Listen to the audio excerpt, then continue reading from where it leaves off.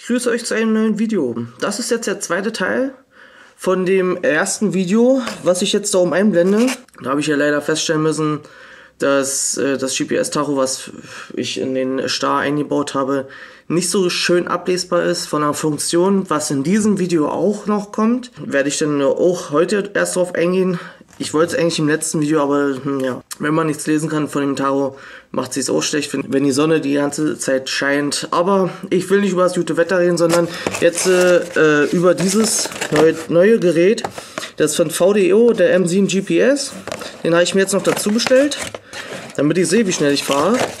Ähm, wird so geliefert, ich habe ihn schon angemacht, äh, also nicht wundern, warum der jetzt an ist. Ähm, er ist an. So, dann haben wir jetzt noch einen Halter für Lenker, Kabelbinder und Kabel und eine Bedienungsanleitung, worauf ich jetzt nicht eingehe. Ja, das ist das Gerät, um was es sich jetzt handelt. Zuerst baue ich aber jetzt den Halter ans Moped und dann, ja, eigentlich geht es ja noch schon ans Testen. Vorstellen brauche ich das hier halt nicht, dafür gibt es andere Videos. Dafür bin ich auch nicht da. Ja, dann geht's jetzt los. Bis gleich.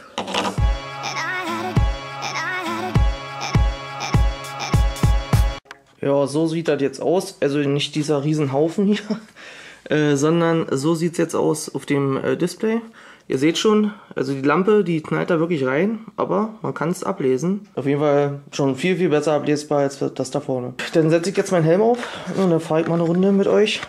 Ich mache hier noch mein Handy drin mit der GPS, also mit das... Also siehst du, stellt sich schon automatisch ab, wenn nichts passiert. Äh, ja, dann stecke ich noch mein Handy rein mit der GPS Speedometer App. Also das heißt Speedometer GPS. Äh, und dann vergleichen wir einfach mal dreimal GPS, ob da Unterschiede gibt. Okay, gut, dann ab jeder. So, jetzt geht's los. Er hat noch kein GPS. Er, glaube ich, hat schon lange GPS, das ist ja auch Handy. Jetzt mache ich den an. Ich, ich sehe nicht, ob er anders. Oh Mann, ist das traurig. Und das ist hier dunkel drin. So, dann schiebe ich mal raus und gucke, äh, wann er GPS findet. So, er hat jetzt GPS gefunden. Er sucht immer noch. Hm, lassen wir mal suchen. Also jetzt vergleichen wir mal auf der Strecke. Aber ich hätte Handschuhe anziehen sollen, ist doch ein bisschen frisch. Äh, so, jetzt vergleichen wir mal. Hier könnt ihr die äh, Geschwindigkeit ablesen vom Handy. Das ist klar da. Und da muss ich mich nach vorne beugen, damit ihr auch irgendwas seht. Ja, dann müssen wir mal einen kleinen Durchschnittswert sehen. Ich muss dann noch die Geschwindigkeit halten und dann geht's los.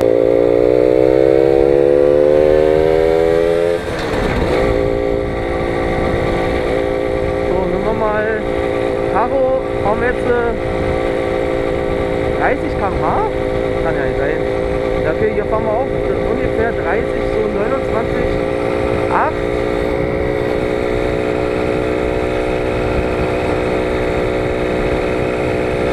beiden sind ungefähr gleich und jetzt gucke ich mal nach vorne. Da fahren wir hoch 31, ja, das schwankt ganz schön.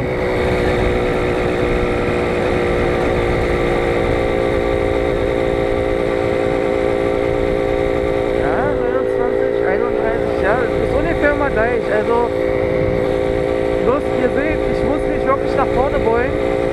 Und das ist dann immer noch schwer abzulesen. Also, das ist, ja, was das gut sein soll. Aber hier, der ist schon fertig. Der ist auch schon auf Null und der ist immer noch, der zieht immer noch hinterher. Achso, ich habe jetzt Warnblinkanlage.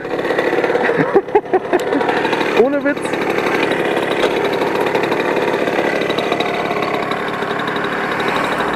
Ich habe Warnblinkanlage.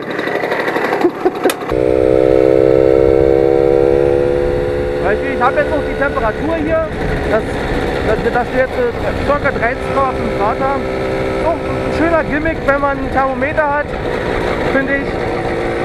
Oder hier eine Uhrzeit, ist auch immer schön, wenn man weiß, wie spät es ist, wie viel Zeit man noch hat.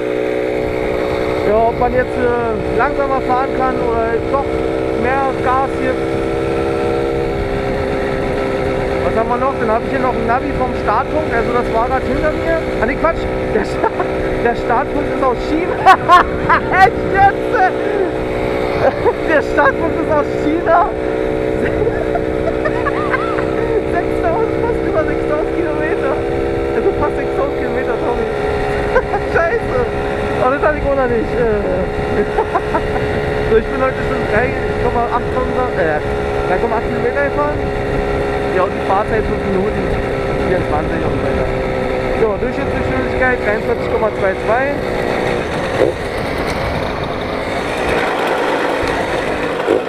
Ja, die lassen wir noch vorbei. So, dann noch die Durchschnittsgeschwindigkeit. Das könnt ihr jetzt hoffentlich alles lesen, außer ich bin zu weit weg.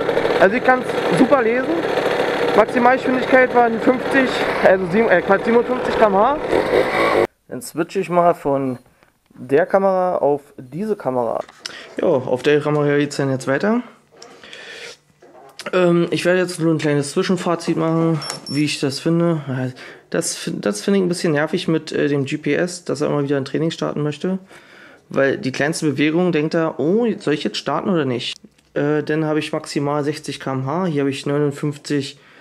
Oh, das kann man, das kann man ja nicht so wirklich lesen. Hier habe ich 59,8.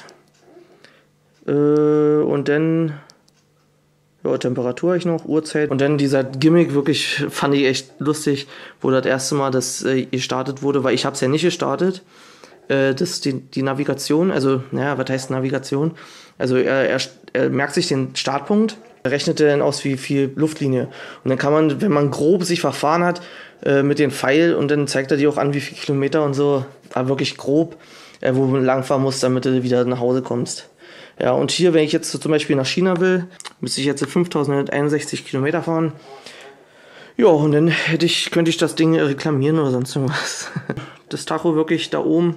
Jetzt kann man es, kann man es, ich weiß nicht, ich sehe es nicht von, ja, jetzt kann man es leicht ablesen, aber draußen keine Chance. Echt, draußen ist null Chance.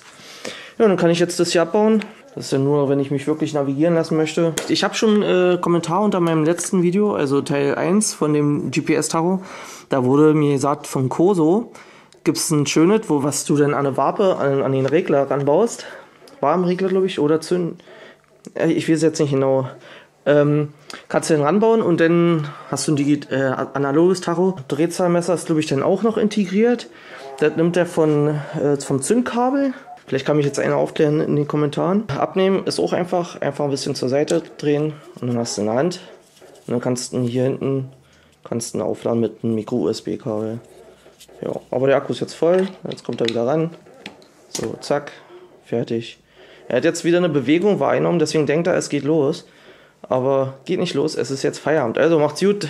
Danke fürs Anschauen. Ich hoffe, ich schneide jetzt einigermaßen gut und nicht so viel Lava drin. Ich weiß ja nicht, ob ihr das mögt. Gut, ähm, jo, dann ahoi Brause, euer Skorpel. Bis zum nächsten Video. Ciao.